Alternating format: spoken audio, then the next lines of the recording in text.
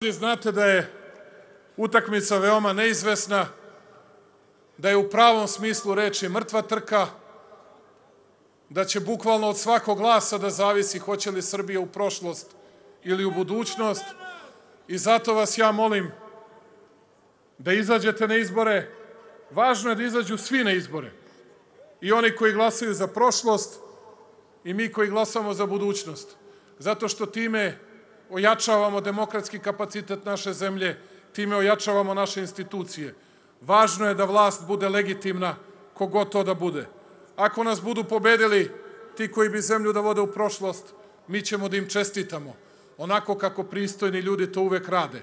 I nemojte da smetnete suma, u jednom danu će da se ujedine. U jednom danu će da se ujedine.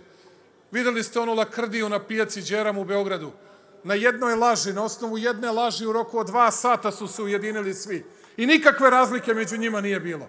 Tako će da urade ukoliko jedan glas budu imali više od nas.